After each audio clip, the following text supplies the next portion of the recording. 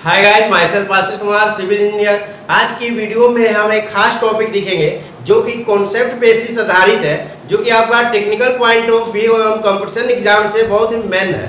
तो इसमें हम देखेंगे, क्या देखेंगे?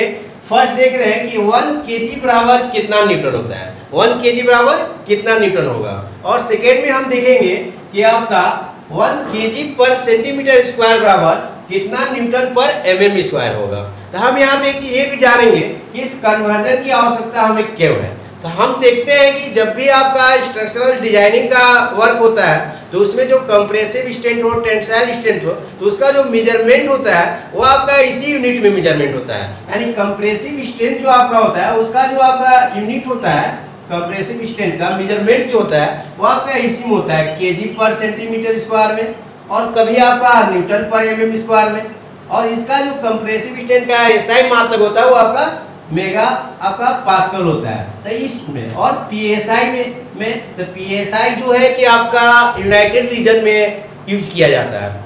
तो जितना भी आपका कंक्रीट हो गया एसी ब्लॉक हो गया ब्रिक हो गया, इसका जो कंप्रेसिव स्ट्रेंथ यूज़ किया जाएगा, इसी कन्वर्जन यूनिट में यूज़ किया जाएगा। तो हम इसका डिटेल कन्वर्जन देखेंगे कि हम एक दूसरे से रिलेट करके कैसे इसको कन्वर्ट कर सकते हैं। तो आइए हम देखते हैं। तो फ़र्स्ट हम इसमें देखेंगे कि वन के बराबर कितना न्यूटन होगा। वन के बराबर कितना न्यूटन होगा। तो आप जानते हैं कि फोर्स बराबर आपका क्या होता है? मास इंटू एक्सलरेशन तो मास यहाँ पे जो हम वैल्यू ले रहे हैं वो आपका वन के जी क्यों? क्योंकि वन के जी बराबर कितना न्यूटन होता है, इसके लिए कंसीडर करना है। तो मास का जो वैल्यू हम लिए one K G into acceleration का वैल्यू आप जानते हैं कि फिक्स वैल्यू होता है। वैल्यू क्या होगा? 9.81 9.81 मीटर पर सेकेंड स्क्वायर तो यहाँ पे हम देख रहे हैं कि आपका वैल्यू जो आ गया 9.81 kg metre per second square यानी हम इसको लिख सकते हैं 9.81 न्यूटन। क्यों? इतना क्यों लिखेंगे और कैसे लिखेंगे? इसलिए क्योंकि हम यहाँ पे देख रहे हैं कि एक्सप्रेशन जो है, उसका जो वैल्यू हम 9.81 यूज़ कर रहे हैं, वो आपका फिक्स वैल्यू है। तो 1 केजी मास के लिए जो फोर्स का वैल्यू हो रहा है, वो आपका क्या हो रहा है? 9.81 न्यूटन। न्यूटन में इसलिए क्योंकि फोर्स का एसआई मात्रक न्यूटन होता है। तो यहाँ से हम लिख सकते हैं, यानी हैंस आपका कि वन के बराबर, यानी वन के मास के लिए जो फोर्स का वैल्यू आपका है कितना? 9.81 न्यूटन तो वन के बराबर 9.81 न्यूटन अब यहाँ से हम इजी तरीका से नेक्स्ट कैलकुलेशन कन्वर्जन कर सकते हैं सेकेंड का, कि वन के पर सेकेंड में क्या है मेरा? वन के जी पर सेंटीमीटर स्क्वायर यानी वन के जी पर सेंटीमीटर स्क्वायर बराबर कितना न्यूटन पर एम एम स्क्वायर ठीक है? यानी केजी पर सेंटीमीटर स्क्वायर बराबर कितना? न्यूटन पर एम एम स्क्वायर तो हम यहाँ पे देख रहे हैं कि वन के जी बराबर क्या है आपका? 9.81 न्यूटन ये आपका हो गया 9.81 न्यूटन और सेंटीमीटर स्क्वायर है तो इसको हम लिख सकते हैं सेंटीमीटर इंटू सेंटीमीटर अब यहाँ से हम कन्वर्ट कर सकते हैं कि 9.81 न्यूटन और 1 सेंटीमीटर का वैल्यू क्या होता है? 10 एम होता है। तो इसको 10 एम में हम कन्वर्ट करेंगे। क्यों? क्योंकि हमको कन्वर्ट किसमें करना है? न्यूटन पर एम एम स्क्वायर में। तो केजी को तो हम न्यूटन में कन्वर्ट कर चुके हैं। लेकिन अब सेंटीमीटर स्क्वायर को किसमें कन्वर्ट करेंगे? एम एम स्क्वायर में। इसका खास ध्यान रखना है। तो आपका ये वैल्यू हो गया ten m m into ten m m तो जब हम यहाँ से कैलकुलेशन करेंगे तो क्या आएगा नाइन पॉइंट एट वन बटे हंड्रेड और ये आपका क्या हो जाएगा?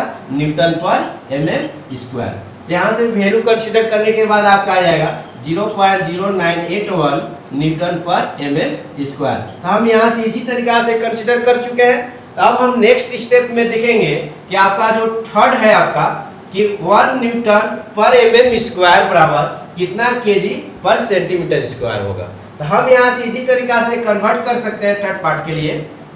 आप देख रहे हैं कि आपका zero point zero nine eight one newton per m square बराबर आपका क्या वैल्यू आ रहा है? वन के जी पर सेंटीमीटर स्क्वायर हम यहाँ से कन्वर्ट कर सकते हैं कि one newton per m m square बराबर कितना के जी पर सेंटीमीटर स्क्वायर होगा। तो ये यानी one newton per m m square बराबर आपका कितना हो जाएगा? वन बटे zero point zero nine eight one और ये क्या हो जाएगा?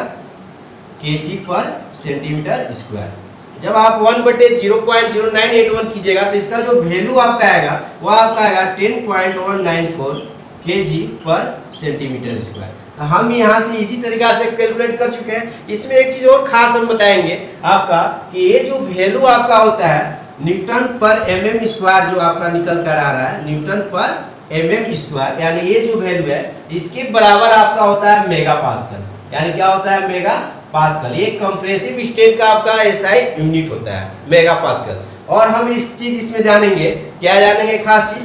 देख रहे हैं कि one newton per m m square बराबर जो आपका वैल्यू आया one newton per m m square बराबर, आपका वन मेगा पास्कल हो रहा है मेगा पास्कल वैल्यू आ रहा है, और इसके बराबर आपका होता है 145 psi यानी पाउंड पर स्क्वायर इंच तो इसका जो वैल्यू यूज़ हम लोग किया जाता है, ये आपका यूनाइटेड रीजन में compressive state cell state measurement के लिए किया जाता है।